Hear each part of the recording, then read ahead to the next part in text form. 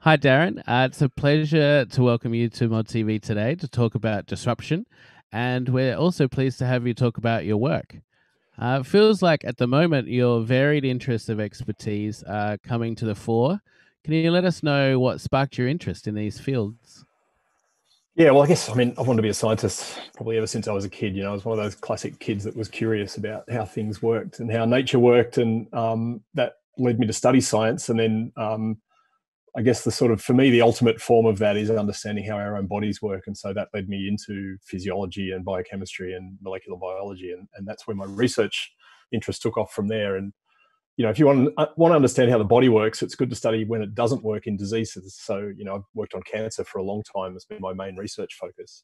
Um, and as part of working on cancer, you, you end up doing a lot of speaking to people about research. You know, cancer is one of those diseases that affects an awful lot of people. So, you know, we like to engage with people to help them uh, understand the research we do. We also like to engage with people to help them inform the research we do. So we like to get feedback on the questions we're asking. Um, and also, you know, to raise public awareness of our research and to hopefully raise some funds for doing our research as well. So I started to get a lot of practice in doing public-facing stuff uh, in person and on the radio and on TV and stuff like that. So I've been doing that for a long time and um, found that I really enjoy it and really sort of it's a really interesting and exciting part of what I do. And then when a you know when a crisis comes along like the, the COVID crisis that we've been living to, living through, there's there's I guess a lot of demand for uh, people to be able to take really complex and rapidly evolving scientific information and break it down in a way that helps people understand what's going on. You know, so especially we've seen with COVID, you know, the information is just like a fire hose of stuff coming out, and to be able to try and grab that and help people wade through it and figure out what is relevant for them and help them make decisions is kind of a really important thing to do. So, in some ways, the timing was right. It's not just me; as a lot of people have been, uh, you know, doing this over the last few months. Um, and we've been learning a lot in the process as well, actually. And uh, maybe if you can think back to a few months ago when we were uh, prior to this, and tell us a little bit more about your current role at the University of New South Wales. So I'm a you know classic track academic. I spend some of my time teaching. I spend um, some of my time researching. Um, you know, running a, a, small research group and writing papers and writing grant applications and all the stuff that goes with that. Um, and as I said, we've worked on cancer for a long time. We're very interested in a system that cancer cells use for for breaking down protein and turning over protein, and how that affects the way metabolism works. Um, and more recently, that's taken us into working on motor neuron disease. Believe it or not, there's some similarities at the really basic biochemical level between what goes wrong in cells in those diseases. Um, so we've been doing a lot of that, and uh, part of what we do in that research is to use a lot of viruses. So we actually engineer and build a lot of designer viruses, both as research tools and also to try and make gene therapies. Um, viruses are really good ways of jumping bits of genetic material around between different things. And so we've spent a lot of time working on viruses, building viruses, understanding how they work. And so um, a lot of that came together, if you like, in the current crisis. It helps to be able to pull those different things together. Yeah, it was interesting. I heard the other day um, that they, they kind of could trace back um, the the kind of uh, cause or um, for some of the uh, COVID cases through um, genome, like through genome research as well. So they're using it kind of at the other end to get back to it. Yeah, there's a huge interest in using genomics. Um, you know, the the testing that the, the, rapid testing that's being done is a is an RNA based or geno- genome based test. But when they're tracking outbreaks, so particularly the outbreak that's happening in Victoria in the moment in Melbourne, they're using genomics heavily because the, the virus has a signature genome sequence, if you like. Um, and that sequence, you can you can actually track which people are getting which sort of small different variants of the virus. As the virus copies itself and moves from patient to patient, it starts to accumulate small little changes in its nuclear um, uh, RNA sequence, and we can track those and start to draw family trees, if you like, of people based on which sort of slight variants of the virus they've got. And so it helps people who are doing disease tracing can find out where the you know source of that virus in each individual is coming from, which is a really helpful thing in trying to shut shut down the transmission of the virus. It's amazing. I like this is all I'm sure happening at a very um, minuscule level uh, and sort of much smaller and, and deeper than than my understanding, or perhaps um, you know uh, the person on the streets understanding. Maybe uh, I guess that's where we get back to your your work in media and um, public communication um, of science. Maybe you could talk a little bit about where that has taken you and how that's uh, helped you in, in, your research or your thought about science.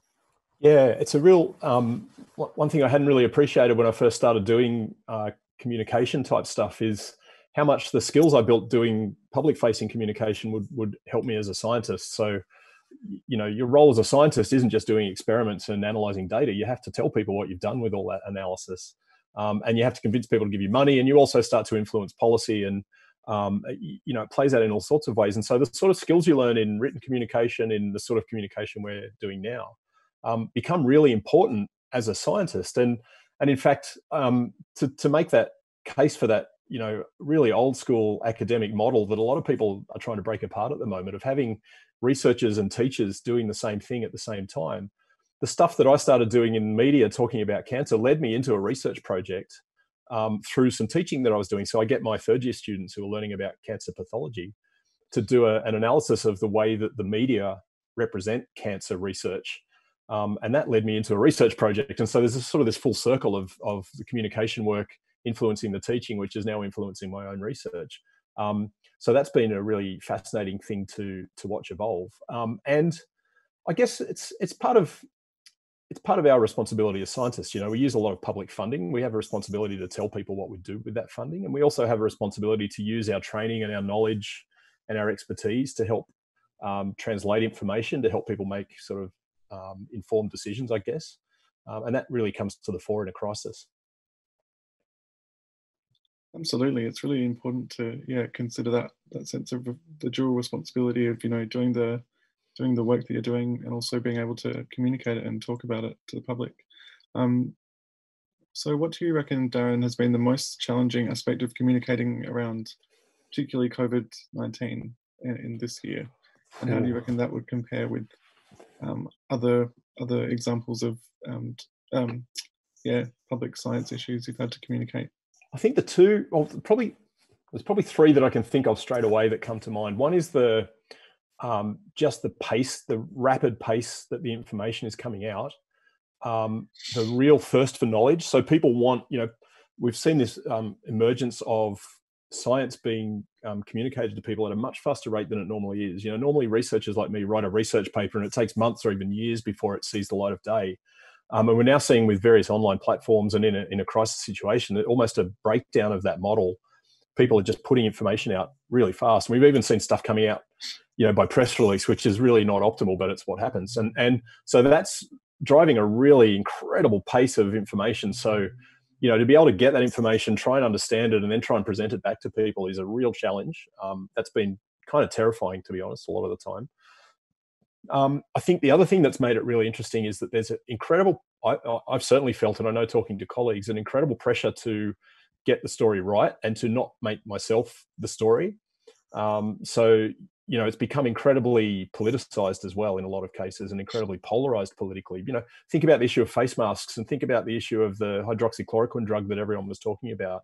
Things became really rapidly polarized. Mm. Um, and so there's been a real, in my mind, a real sense of not wanting to fall into that um, storyline, if you like, or that narrative around the disease, and to really try and stick to facts. Of so I, have sort of, you know, I've got a little bit of a mantra that I work with, which is to try and um, amplify facts, elevate experts, uh, and so when you hear the chief medical officer come out with advice, I try to amplify that advice. You know, I'm not, I'm not going to stand out and say, well, he, that's not the right thing to say. That's that's not helpful in this situation.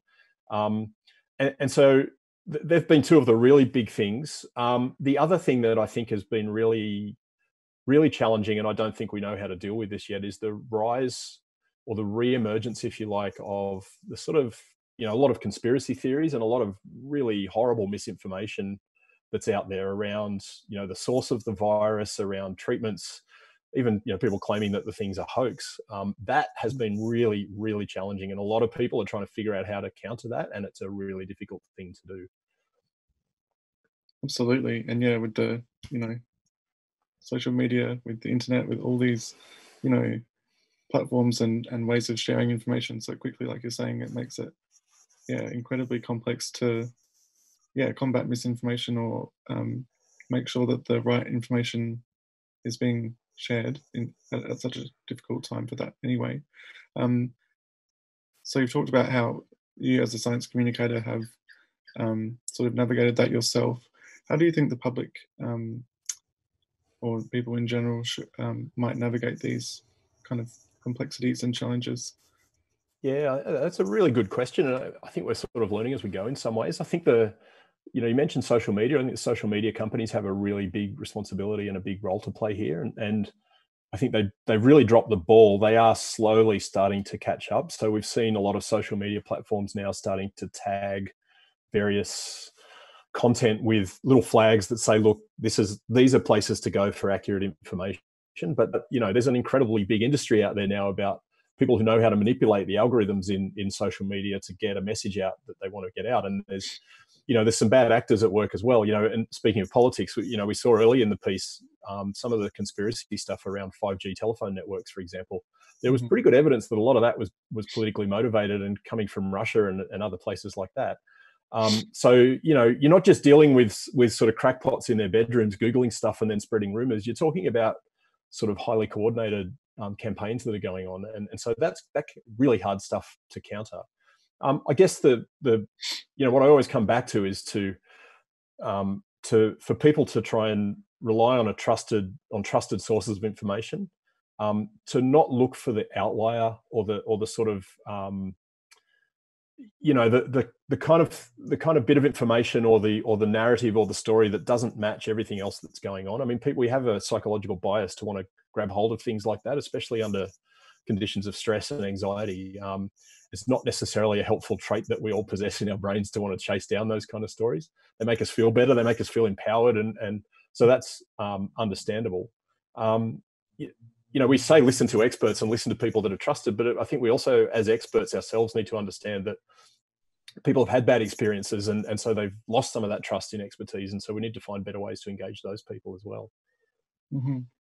And yeah and following from that i suppose how do you think that um, events such as covid um, have impacted or or can impact um, both public and i guess also governmental um, trust of science or trust in science and how can this trust kind of vary um, issue to issue yeah, it's a really good question. And I think we don't probably don't have a full handle on how that's going to look yet because part of it will be a retrospective analysis. But there's certainly some really interesting survey data out there already around public trust and who people trust and how that trust is changing, you know, across the course of the pandemic and and how it changes in different parts of the world as well. And and thankfully, I mean, from my perspective, thankfully, scientists and doctors still come out right up on top. So, you know, if you ask people uh, their levels of trust. They're very, very high reported levels of trust in scientists and doctors. Not so much in politicians, although that did actually go up quite a lot in some of the data I've seen. Um, and I think that depended heavily on the particular leader or the particular medical officer that was speaking, and a lot of it about the manner in which they they did their communication. And I think, uh, from my perspective, it was really fascinating to watch early on in the crisis the the way that the um, both the content and the style of the communication communication coming from the prime minister and the premiers and things really very quickly evolved as they were sort of figuring mm-hmm. out what worked and what didn't and and how they mm-hmm. could influence people's decisions. I think that was a, a really fascinating thing to watch take place in real time and i'm sure they probably when they reflect they'll really have a good think about what worked and what didn't. Um, and you can see different leadership styles playing out. Um, you know because people people are stressed they, they you know we saw panic buying and all that sort of stuff going on. That's it's a reflection of, of that stress and anxiety. And and so um, people need to have a trusted voice they can listen to. They're looking for that trusted voice, and um, I think the sort of the empathetic style of communication seemed to work quite well. That sort of standing up, you know, bossing people around, telling people what to do, didn't seem to work so well.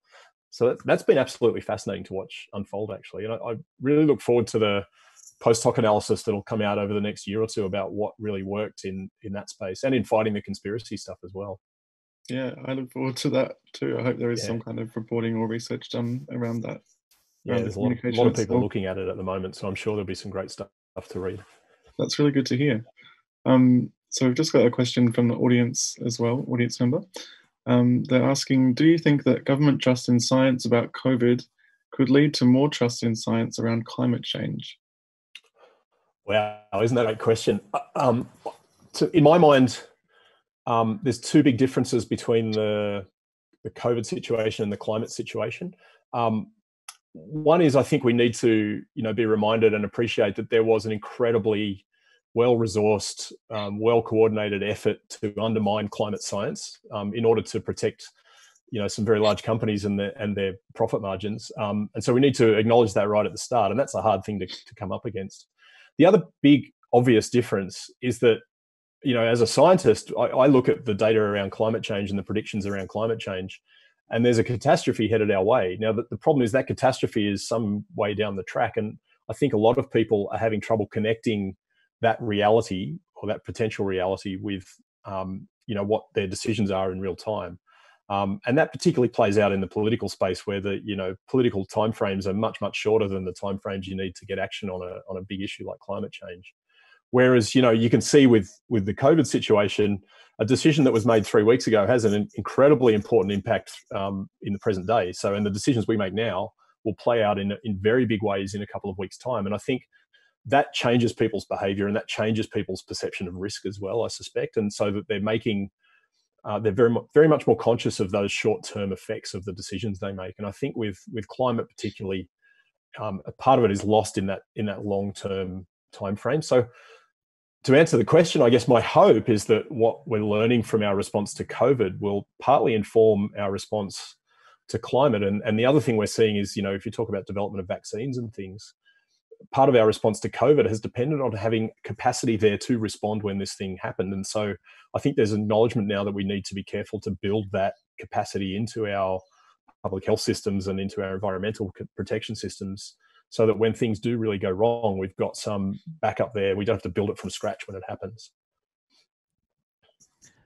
Yeah, interesting, interesting. Um, yeah, there is something about, and perhaps it's just human nature that um, often people need to uh, gain an understanding through experiencing something. They kind of uh, have to personally experience something uh, to gain that understanding. And then also, yeah, like you're saying, they like to see an immediacy of their actions. If they're being asked to do something, they want to see the result um, mm, quite quickly.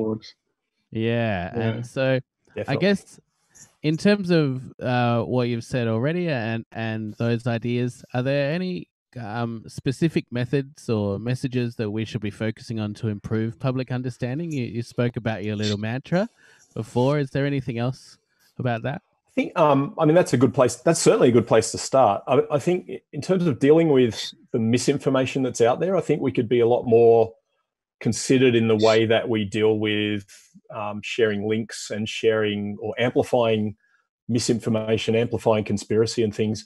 Even in, in the course of trying to counter it, um, you know, there's some pretty good evidence out there by by a lot of people now that you know, in the course of trying to counter myths or misinformation, you can inadvertently actually amplify it and reinforce it in people's minds. Um, and so there's a number of different techniques out there for doing that. You know, one of the ones I, I'm, I'm conscious of using is a thing called a truth sandwich, where if you're going to tell somebody, you know, you're going to talk about 5G, 5G conspiracy or something, you sandwich that misinformation in between the, the right information. So you tell people the good stuff first, then you say, look, I'm going to tell you about this conspiracy theory or about this misinformation, and then you back that up again. And, and there's some evidence out there that that might be a slightly more effective way of doing it. Um, so that's definitely something to to remember. And then, you know, the obvious one for people like me is to really cut out the jargon and really try to what I try to do is put myself in the shoes of the person who's looking, watching, listening, and try to understand what it is that they want to get out of me and what the information is that they're looking for. And then I try to put it in terms that they'll be able to relate to. Um, I think that I hope that works. I don't actually know if that works. I hope it works. That's my certainly my approach to it anyway. Yeah, for sure. Interesting. I think I think I think it does work. So thank you. Um, and and I guess uh, also um, I guess we're looking at like the future of messaging, the future of information dissemination, um, and I guess, yeah. Do you think I remember a time when um, perhaps you, you could just look at the news and look at information, and and the information you received you could relatively trust. I think now where our eyes are being open to perhaps that wasn't totally the case, but it felt like more the case uh, in the past, and now there's just yeah so much information, and we don't know how to trust it. Do you think we'll ever have a time where we can uh, go to a trusted source, or or you know, will there be a, a simpler time for the end user of that information? I don't think so. And I think this comes back to, and there's a lot smarter people than me have been studying the media around this, but I think it comes back to the fragmenting of audiences. So, you know, if you go back not that far in time, people got their news from a few different TV channels or a few different newspapers. And then the internet came along and that broadened our exposure to lots of different newspapers around the world and TV channels and now to things like we're doing right now, um, along with social media. And so people can really build a bubble of information. You know, they can really just um, insulate themselves into a stream of information that matches their worldview um, without even realizing they're doing it. And we, we all do it without realizing we're doing it. Um, and that's really hard to counter because if you can't break through those bubbles, we're going to just become further and further fragmented. And the nature of the way things are being delivered now, you know, we just most people under a certain age don't watch the TV news, they don't read the newspaper, they get their information online. Um, and I think that that's a real challenge for us. Um, I think the other thing we need to be better at doing you know, it's very hard to counter misinformation once it's out there. It takes a lot more effort to stop it than it does to block it in the first place. So I think I, one thing I'd like to see is a lot more effort going to trying to stop the information at its source, that misinformation, before it gets out there, before it gets legs and really spreads through the online communities and, and through social media. uh, that that's not an easy thing to do. I'd say as well. That's, that's a really tricky thing to do. I wish I knew how to do that better. But I, you know, I have I have nightmares. Some mornings I wake up and I turn on the news or I look online and I see some story that's out there, and I you just know in the gut in your gut that that's going to take off around the world and. A lot of people like me are going to have to spend an awful lot of time trying to hose it down and, and try to put out the fires and try to help people see through it. Um, it's a really tricky thing to do, and, and, so that would be a great thing to for us all to get better at, I guess, and also to look at people's motivations for spreading information. You know, are people telling you something because they're making a profit out of it? Are they telling you something because they stand to gain political advantage from it? I think if we all spend a little bit more time looking at um, at motivations, I think that would probably help us a bit as well. Definitely, and I suppose, um, yeah, this is a very broad question, um, but be as specific as you like about um, whether this is to do with you know the future of science communication or the future of um, you know how misinformation may yeah we can stop it or find ways to deal with it more effectively. Um, but yeah h- how do you kind of see the future or i suppose the next you know couple of years um, in this sense um, one one thing I'd really like to see is um, scientists, particularly so so people that do have expertise and do have gravitas, or if or, or you know runs on the board, um, to get better at communicating with people, to not just stand up and go, "I'm an expert, listen to me because I'm telling you what I know," but to look at the way, and you know I've written about this and talked about this a lot. To look at the way that um, you know Instagram influencers and, and health influencers work, they're incredibly effective communicators. You know, I think we can mm. learn a lot from the way they do things, and I'd love to see more scientists and medicos and people providing that really um, that have the expertise and the knowledge to get better at, at communicating that and turn it more into a conversation rather than just a broadcast of his his very important information from a very important person. I think that would probably help. Um, so that's really something I'd like to see happen. It's something I'd definitely focus on a lot. Um, so that'd be a good starting point, I guess. That sounds like a very good starting point to me, and kind of yeah, yeah assessing yeah, the, the again coming back to that sense of responsibility and the role that you have as a public facing, or you know, yeah, as a as a researcher or a scientist or a someone communicating. And I think we are we are getting we yeah. are definitely getting better at it. I think the other thing that's really important on that is that people will trust people they can relate to, and so we need to have a much greater diversity of voices out there doing this mm. sort of stuff. Not that you know pale male and stale like me because um, people will trust information if it's coming from someone that they can relate to a lot more closely. So I think that's also important, you know, to, to get a, a bigger breadth of voices out there talking about this stuff would also be a great thing to do. Absolutely. Yeah. And um, Darren, what's next for your own teaching and research projects? What's coming up? So teaching, we've just gone through this uh, quite challenging episode of having to shift everything online because our students now are at the end of a Zoom call. mm-hmm. Unfortunately, not in a classroom or in a lecture theatre or in a lab. So that's that's I mean that's challenging for us. It's a lot of work. It's even more challenging for the students. So we're we're all learning a very steep curve on a very steep learning curve about how to do that. Um, research wise, um, we've got a couple of projects that we're on that, that are real that really fascinate me. So so one we're working on a gene therapy for motor neuron disease, which is a horrible, incurable um, neurodegenerative condition. uh, and we've got a particular angle on how we think that disease works. And so we're now testing various ways to, to attack that sort of molecular lesion right at the heart of that disease. Um, and I guess we're sort of waiting. I guess we'll know in the next year or so if that approach is is worth continuing or not. So that's that's a really exciting angle for us. Um, and in the cancer space, you know, cancer is just it's going in so many interesting directions with with genomics and with understanding cancer metabolism and immunotherapy and how the immune system and the tumors um, interact with each other. So that's something we're we're very interested in in chasing always. You know, nothing ever stands still in research. That's one of the things we love most about it. Uh, that's so great. It sounds it sounds very very busy. Sounds like you're going to be very Yeah, busy, but yeah, it sounds definitely. exciting as well. And uh, where where can where can we find out more about um, everything you've been talking about today? Maybe there's a couple of places you could lead us to. Yeah, well, I mean, the- you know, the stuff that I'm writing about is you know conversation and the ABC. There's there's that's that sort of stuff's up there for people to look at. Um, you know, in terms of uh, trusted information, I guess when it comes to say cancer research, the type of stuff that that I'm talking about from a research perspective, um, the state cancer institutes, um, the Cancer Australia have fantastic information. The Australian Institute of Health and Welfare have fantastic information. Um, you know, not not the sort of celebrity chefs and people like that probably aren't the people to turn to for that. Um, I'd say, um, you know, when it comes to COVID, I think the the state the state and federal health departments and the chief medical officers are doing a, a pretty amazing job under pretty incredible pressure, I have to say. And, and you know, they cop it occasionally for the way they're doing things, but I have to say, you know, anyone that thinks they want their job at the moment is probably crackers. It's an incredibly difficult job uh, with huge consequences. So I think you know, also listening to what they're doing, and I think the most important advice I could give to people out there trying to, you know, deal with this sort of fire hose of information that we're all trying to deal with, is to keep an adaptive mindset. You know, the thing about science is that what's true now might not be true in six months' time.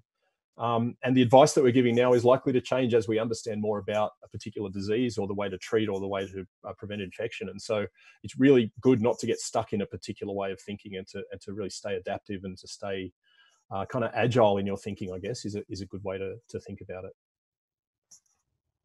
Definitely. Well, thank you, Dan. We really appreciated you coming on to the program this afternoon and spending some time.